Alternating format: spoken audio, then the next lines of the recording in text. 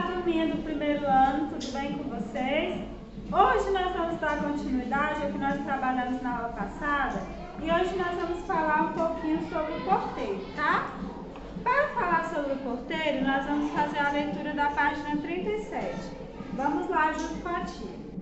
Como é bom ser recebido na escola com bom dia, tudo bem? Boa tarde, olá, como vai? Enfim, começo ser recebido com atenção. Quem será que fala assim? Claro, é o porteiro, a recepcionista. São profissionais que ficam na porta recebendo os alunos, verificando tudo na entrada e na saída. Não é um trabalho fácil. Tem que estar sempre alerta, ser educado e às vezes escutar a falta de respeito de algumas crianças e até de adultos como, por chegam atrasados à escola e precisam esperar. O porteiro merece toda a nossa atenção, respeitando, respeitando, respeito e compreensão, porque obedece às regras da escola.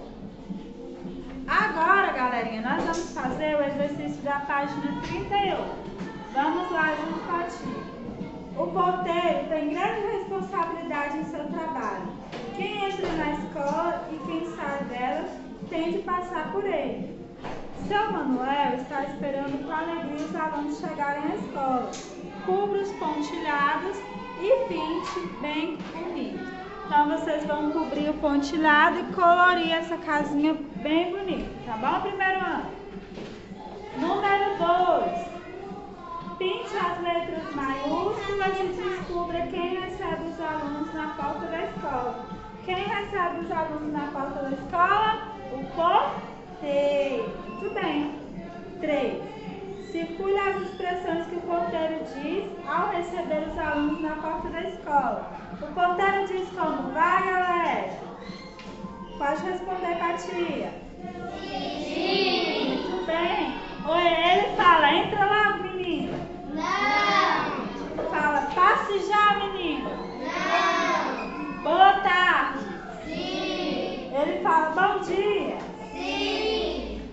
Pode, pode deixar, eu aviso, ele faz isso, porteiro? Sim. Sim, às vezes se tiver algum problema, alguma coisa quer dar um recado para alguém, então Antônio vai avisar, né? E vai passar o recado, tá bom? Que o porteiro da nossa escola é o tio Antônio. E também as meninas que ajudam lá na recepção, a tia Isabela, a tia Sheda e também a tia Adriene, tá bom? Então essa é a nossa aula de hoje. Um beijo pra vocês e até a próxima aula. Tchau, galera. Tchau.